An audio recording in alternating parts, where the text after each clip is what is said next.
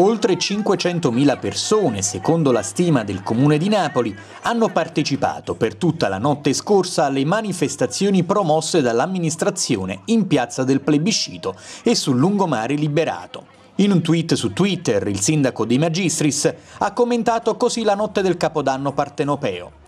Napoli questa notte era fantastica e unica, un fiume umano da via Toledo al lungomare, oltre 6 chilometri, la nostra potenza, il nostro cuore.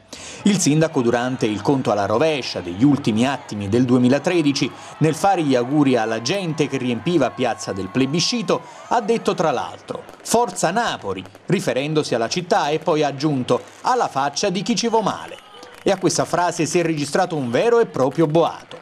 Intanto, dopo la mezzanotte, i fuochi d'artificio hanno illuminato il Castel dell'Ovo e la musica delle quattro postazioni dance ha animato il lungomare liberato dove tantissimi giovani si sono intrattenuti fino all'alba.